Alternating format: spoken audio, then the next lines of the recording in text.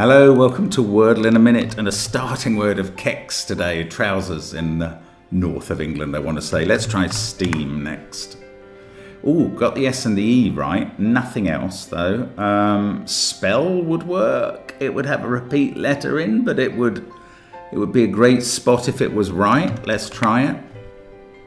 Oh my goodness, P and L are both correct, but in the wrong position. Right, it's not slept. I think it must be sleep.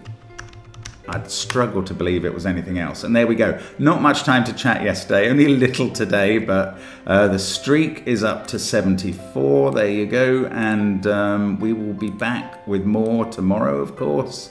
Thank you for watching.